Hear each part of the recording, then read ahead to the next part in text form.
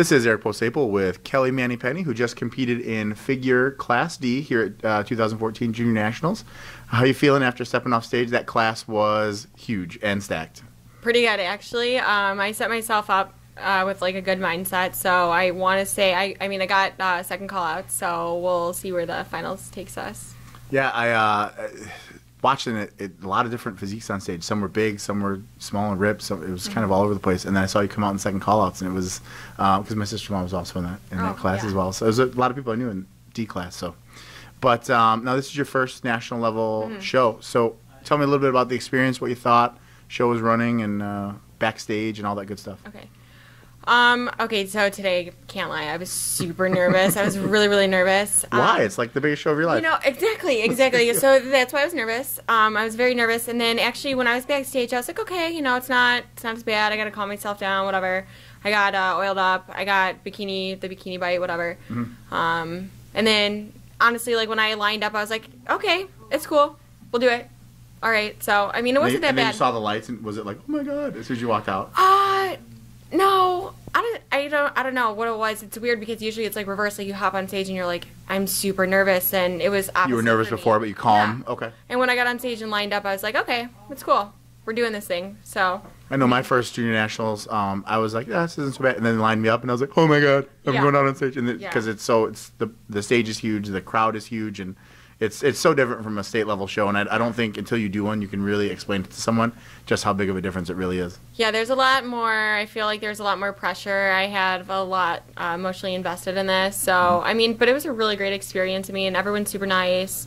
Um, the setup's a little bit different, but I like it. Uh, the carpet floor that was a little bit different. Mm-hmm. but we did it. So pretty excited. Um, now you've done a couple of state level shows. Obviously, you've done really well. Mm-hmm. Your shape is just ridiculous. It's like someone stole all your organs and you have no waist. It's like the smallest waist I've ever seen. I, I know you know that. So, um, what kind of things had you improved on, or were you trying to improve on between this show and your last state level show? Well, my thing has never been like my conditioning's pretty much been there, so it's really just about uh, making my muscles pop more, uh, the thickness, full look. Yeah. So just bringing more of a full package. I actually did a comparison photo of my last show and uh, this show because it's already up on RX, but I am very, very, very, very happy with the package I brought. Yeah, So, made great improvements. yes, yes. I remember when I first met you, um, you were kind of in not I wouldn't say baggy clothes, but baggier clothes, and then you stripped down your suit, and I was like, "Holy cow, where'd that Yeah. girl's waist go?" It's it's it's Yeah. shocking when you see you on stage. So I'm very happy with uh, the package I brought.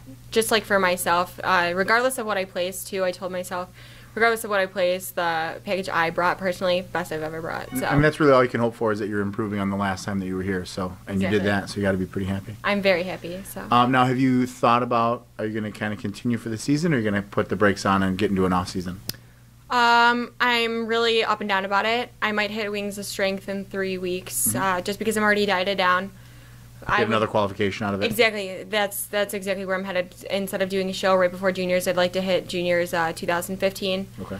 So And just go know. right into it instead of having to requalify. Exactly, exactly, and then I can just focus on one main show. So we'll see. I just really want to eat on Sundays. Right. So So. as long as there's that, then it doesn't matter. yeah. What do you, so. What are you craving?